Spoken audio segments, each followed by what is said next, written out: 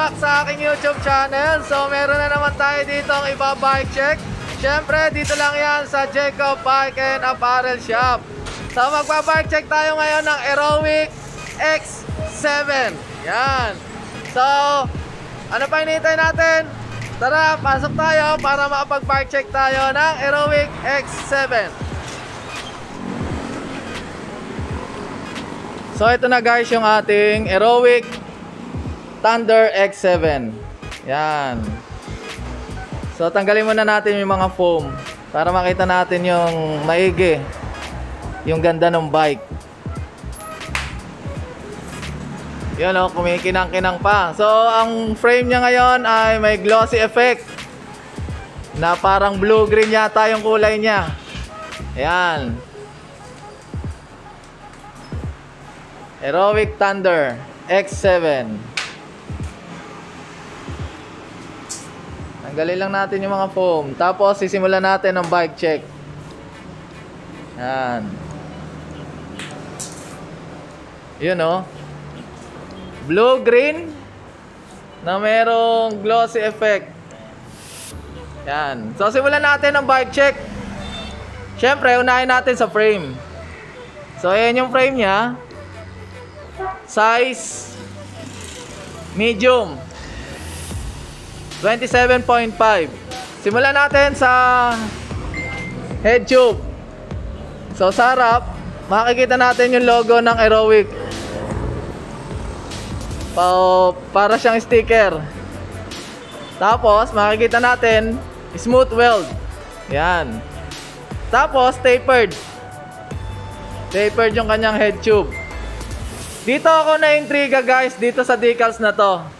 Nakita ko tong decals na to sa Mountain Peak na carbon frame. Yan. Magkamukha sila ng decals. Yan o. Oh. Yan. Then, naka-internal cabling siya, isa dito. Tapos sa kabila, may bakante. Ayan o, oh, makikita ninyo. Palagay ko, ito yung sa FD. Kasi itong sa kabila, Kable to ng RD. Ayan. Tapos dito sa baba, dito dumaan yung kable ng preno sa likod. Ayan. So tingnan natin taas. Ito yung top tube niya. Mala malapad dito. Then pakited dun. Papunta sa seat post. Ayan. Makitid na to. Dito malapad. Makikita natin yung decals na yan. So yan yung decals na nakita ko sa carbon frame ng Aerowick. Ay, sorry, ng Mountain Peak na carbon frame. Yan.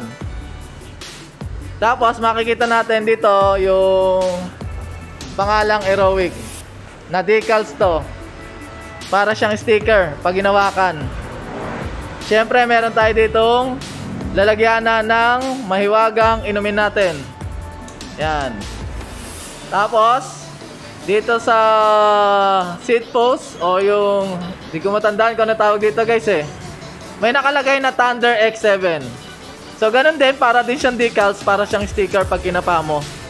Yan. Dito naman smooth weld. Yan wala pa tayong makikita ang bakas ng pagkaka-welding oh.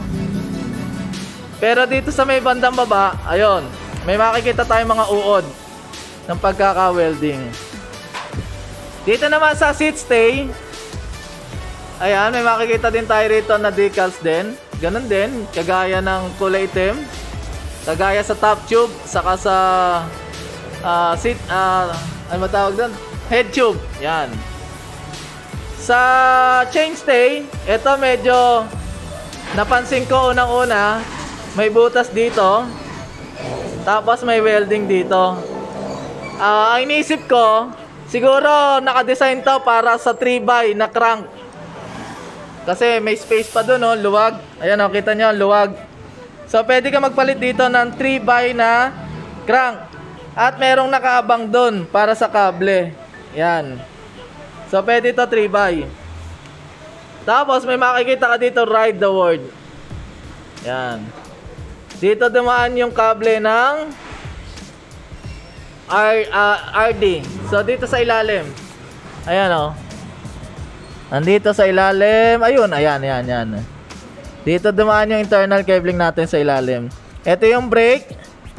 Rear brake. Ito yung RD. Yan. So, ayan yung ating frame. So, punta tayo sa cockpit. So, unahin natin sa kanyang seat post. Alloy to guys, gawa ng Aerowick na 31.6 31.6 by 350 mm. So, mataas siya, mahaba. Yung kanyang saddle, saddle, saddle, ayan. Ang saddle ay gawa ng velo, feels right. So, aggressive na siya, aero saddle na to, na manipes. Na may, medyo matigas ng konti. Yan. Swak na swak to sa puwet nyo. oh.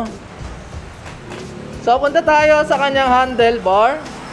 Ang handlebar ay gawa ng Aerowick. Nakalagay aluminum 6061. Sinukat ko to guys kanina. At tumahaba ito ng 720 mm. Yung kanyang haba. Ayan, dulo-dulo yon. Tapos yung kanyang stem ay gawa rin ng Aerowick. Ayan, makikita nyo.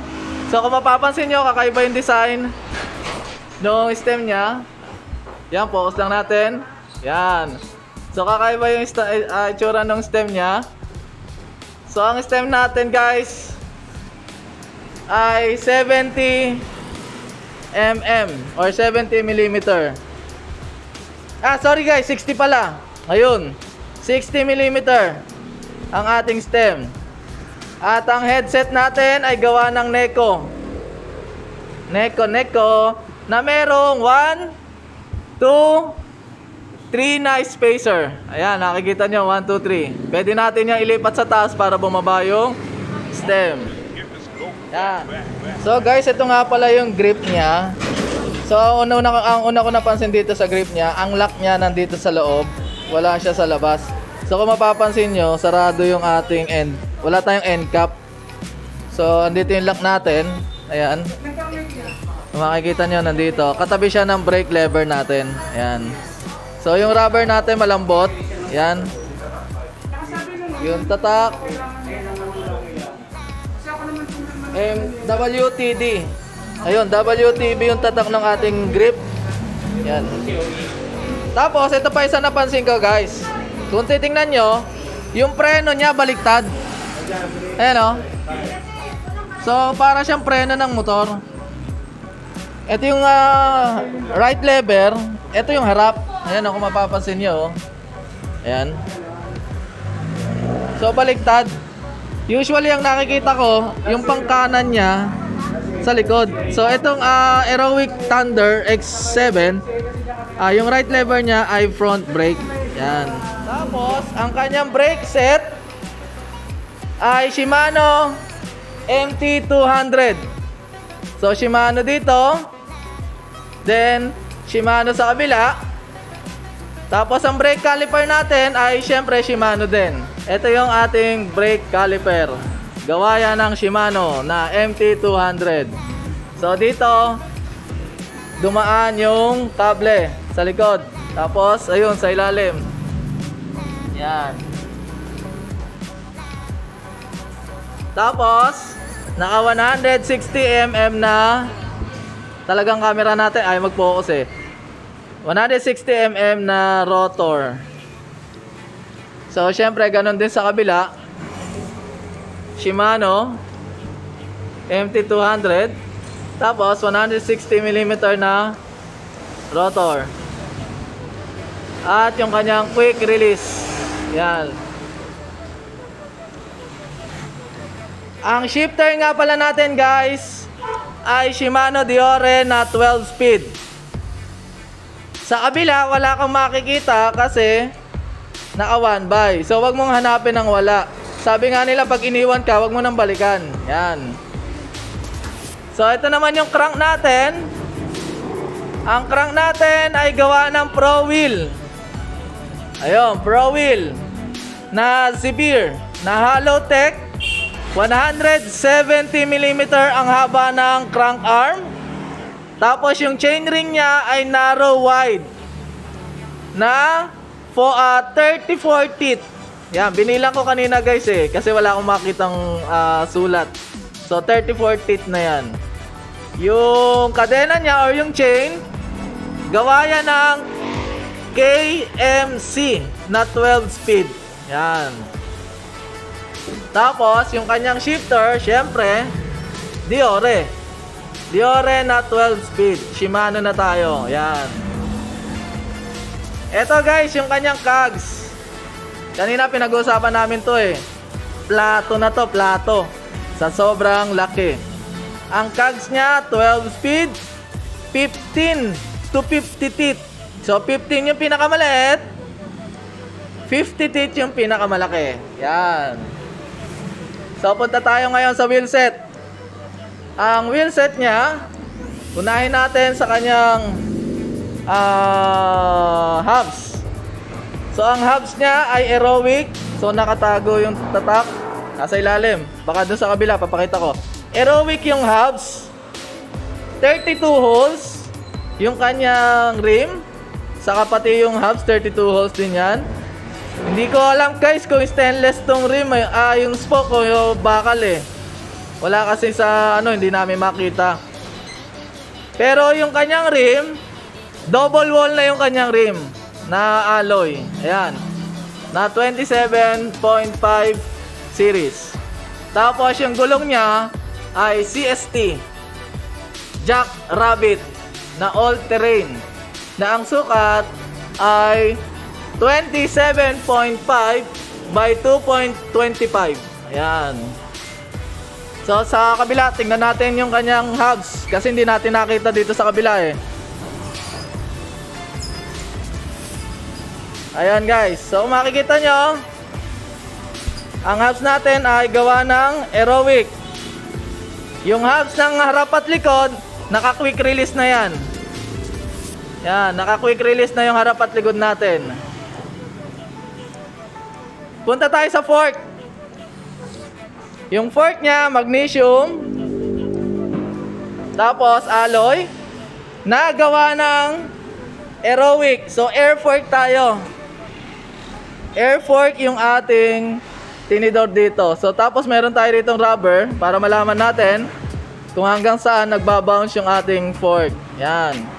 Ito ngayon yung manual lockout natin. Yan, manual lockout. At yung sa kabila, yung air valve. Yan. Yung air valve.